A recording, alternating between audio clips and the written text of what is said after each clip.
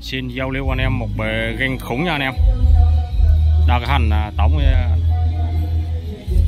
những cái chốt này là chốt sống nữa còn những cái chốt lúa này nó ra lúa nha anh em. Bề khủng quá nha anh em nha. Ghen quang nha anh em.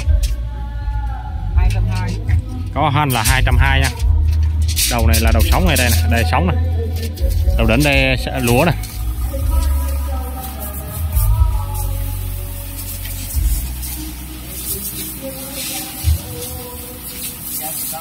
cao 100 có hành tổng là 220 nha anh em. Rồi, quay dòng này xem.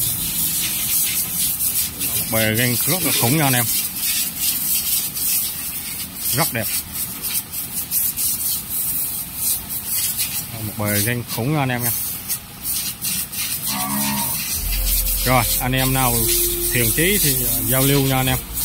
Chào anh em hết nha.